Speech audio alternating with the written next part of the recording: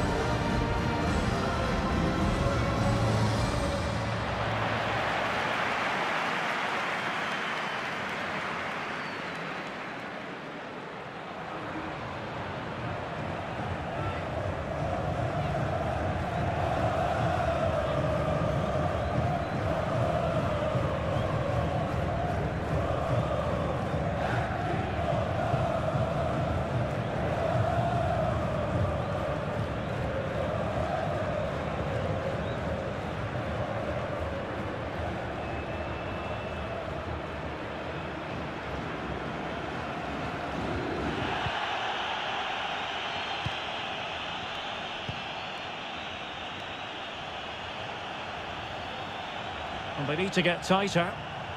It's there for him. There's still danger here. Chance maybe. Corner awarded.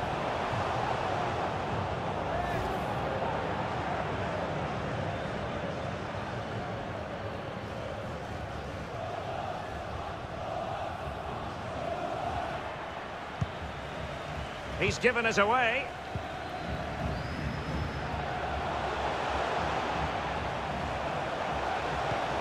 Well, visionary passing. A goal! 1-0. A fully deserved advantage based on what we've seen.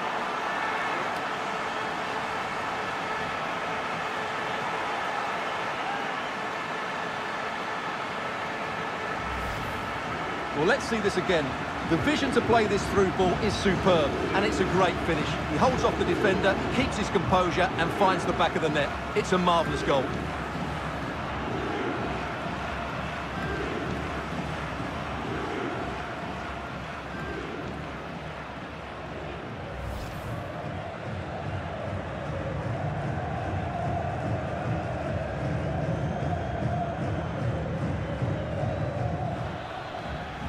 Perez. Going well. Oh, terrific piece of goalkeeping.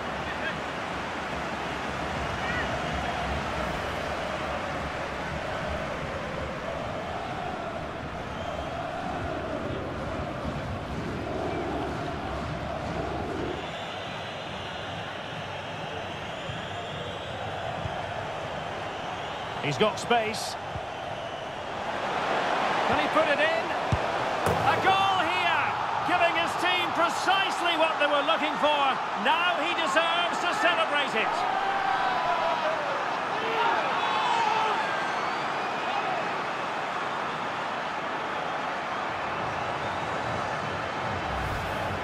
Well, here we can see it again. He's shown outstanding vision to find the perfect cutback, and the finish is clinical.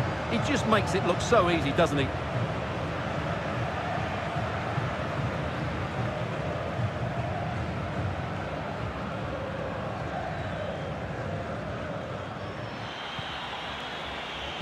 Quick ball almost all along the ground.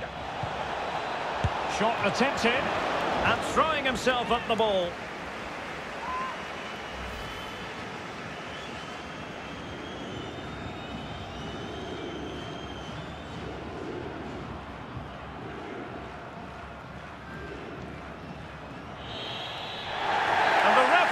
The the home fans are thrilled because they can now book their tickets for the final. Well, those celebrations will be going on for a long time now because they know just how good they've been over the two legs. They'll certainly fancy their chances in the final if they play like that. Well, this man has given us plenty of reasons to dwell on his performance, hasn't he, Stuart?